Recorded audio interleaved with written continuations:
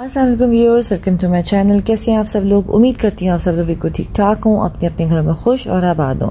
तो व्यूअर्स आज हमारे किचन में जो रेसिपी बनने जा रही है, वो है हॉट एंड सार सूप मेरे स्टाइल में, मेरे तरीके से तो चलें इसे जल्दी से शुरू कर लेते हैं। बहुत ही आसान, बहुत ही यम रेडी होता है। तो चलें आज ऐसे शुरू करते हैं। अगर आपने मेरा ये चैनल अभी तक सब्सक्राइब नहीं किया है तो इस रेड बटन को प्रेस करके जल्दी से इसे सब्सक्राइब कर लीजिए। और इस बेल आइकन को प्रेस करना बिल्कुल भी मत भूलिए। इससे मेरे आने वाली तमाम नई वीडियोस की आपको नोटिफिकेशंस मिलेंगी। यखनी बनाने के लिए व्यूअर सबसे पहले मैंने एक बड़े पॉट में तकरीबन 24 कप पानी ऐड कर दिया है। आ, ये काफ़ी खुले अमाउंट में यखनी जो है वो रेडी हो जाएगी। इसे मैं फिर पोर्शंस में निकाल के इसे फ्रीज़ कर लूँगी। तीन टी स्पून जो है वो मैंने इसमें सॉल्ट डाल दिया है। और हमारी जो जो टोटल यखनी इससे बनेगी वो तकरीबन 21 बाईस कप आराम से बन जाएगी। आठ से दस मैंने ये लहसुन के जवेले लिए हैं फ्रेश मैंने ये इसमें ऐड कर दिए साथ ही इसमें आ, कुछ वेजिटेबल्स आएँगी जिसमें सबसे पहले है एक कटी हुई गाजर। ऐसे मोटा मोटा चॉप कर दीजिए और आप वो डाल दीजिए इसके अंदर और साथ में ही एक प्याज। आप चाहें तो इसमें जो है वो कोई भी और एडिशनल जैसे कि जिंजर ऐड कर सकते हैं, लेकिन मैं इसमें जिंजर नहीं ऐड कर हूँ। इस स्टेज पे उसकी बजाय कुछ सूप में वो टेस्ट अच्छा नहीं लगता, जिसमें चाहिए होगा मैं एक्स्ट्रा अलग से उसमें ऐड कर दूँगी। साथ ही मैंने ये एक चिकन तकरीबन आधा किलो बोन चिकन यखनी बनाने के लिए कोशिश करें बोन चिकन रहे, चाहे आप यखनी सिर्फ़ गर्दन ही लेके ही बना लें, या जो इसकी रिब्स वाला पार्ट होता है, आप सिर्फ़ उससे बना लें, बाकी जब आप सूप बनाने लगें, तब आप उसमें यूज़ कर सकते हैं। मैंने इसको अब उबलने के लिए छोड़ दिया है। खुला ही उबालिए, इसको कवर मत करिए, वरना यखनी सारी आ जाएगी ऊपर। इसके साथ ही साथ ऊपर जिस तरह से ये झाग आ रही है, ये मैं सेपरेट करती जा रही हूँ, निकालती जा रही हूँ इम्प्योरिटीज़ हैं, इन्हें मैं बीच में मिक्स नहीं कर रही हूँ। सारी की सारी झाग जो है वो आराम आराम से इस तरह से देखें। मैं साइड पे कर रही हूँ। तकरीबन आधा पौना घंटा आराम से इसको आप पकने दें। अब ये देखिए झाग मैंने एक उबाला अच्छे से इसको जोश आ गया है। फ्लेम मैंने मीडियम कर दिया और ढक के पकाया है तीस मिनट। ठीक है, तीस मिनट के बाद इसको स्ट्रेन कर लीजिए और आपका जो है स्टॉक बिल्कुल perfect hot and salt soup के लिए व्यूअर सबसे पहले मैंने एक बोल में तकरीबन चिकन बोनलेस लिया है 300 ग्राम। छोटे छोटे मैंने उसके क्यूब्स काट लिए हैं। बाइट साइज़ वो मैंने इसमें ऐड किया है एक बोल में। साथ ही इसमें क्वार्टर टी स्पून नमक जाएगा। इसमें ब्लैक पेपर जाएगी quarter tea spoon white pepper भी जाएगी इसमें तकरीबन क्वार्टर टी स्पून ये तमाम स्पाइसेस हम इसमें ऐड करेंगे। बेसिकली कौन जो हॉट एंड सार सूप होता है, उसमें श्रेडेड चिकन नहीं डलती। उसमें इस तरह से बोनलेस चिकन कच्ची ही ऐड करते हैं और वो जब सूप उबल रहा होता है, उसी में वो पक जाती है। वाइट पेपर मैं इसमें ऐड करी हूँ तकरीबन क्वार्टर टी स्पून साथ ही इसमें जाएगा कॉर्नफ्लावर पूरा भर के एक टेबल स्पून एक टेबलस्पून कॉर्नफ्लोर जाएगा, साथ ही आधा अंडा इसमें मैं फेंटा हुआ वो ऐड कर दूँगी।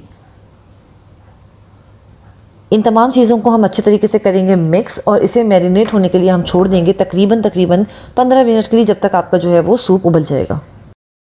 ये भी आप देख सकते हैं व्यूअर्स पॉट में मैंने तकरीबन सात कप जो है वो चिकन का जो हमने स्टॉक बनाया था, वो मैंने इसमें ऐड कर दिया है। अब ये जब बॉईल हो गया, अच्छे तरीके से इसमें जोश आने लग गया है तो हमने जो चिकन मैरिनेट करके रखी थी, वो हमने इसमें डाल देनी है। ठीक है? एक एक करके डालिए या इस तरह से थोड़ा सा सेपरेट सेपरेट करके डाल दीजिए। बेसिकली इसी में डाल में, डालने में डालने में चिकन जो है वो इतनी टेंडर होती है कि ये इसी में गल जाएगी और पक जाएगी। इसे हमें अलग से गलाने या पकाने की ज़रूरत नहीं है।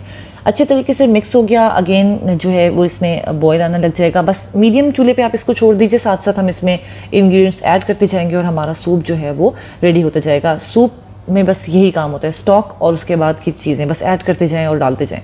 सोया सॉस डलेगी स्टेज पे तकरीबन दो टेबल स्पून तमाम जितनी भी सॉसेज ऐड की जा रही हैं सूप्स में हमेशा अपने टेस्ट के हिसाब से आप इसको ऊपर नीचे कर सकते हैं। स्टैंडर्ड में आपको बता रही हूँ, तकरीबन दो टेबल स्पून इसमें सोया सॉस गई है इसके बाद इसमें मैं कुछ और सॉसेज ऐड करूँगी मिक्स कर लेते हैं इसको हल्का सा।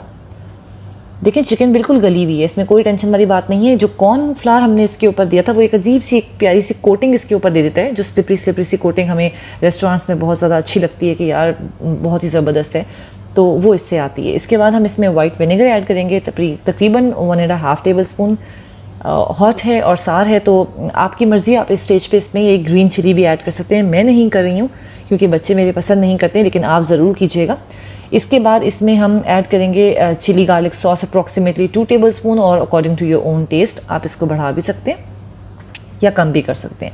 इसके बाद इसमें जाएगी tomato ketchup approximately quarter cup आप इसको भी बढ़ा सकते हैं या कम कर सकते हैं, ये बिल्कुल आपकी अपनी मर्ज़ी है। इसको अच्छे तरीके से हमने मिक्स करना है।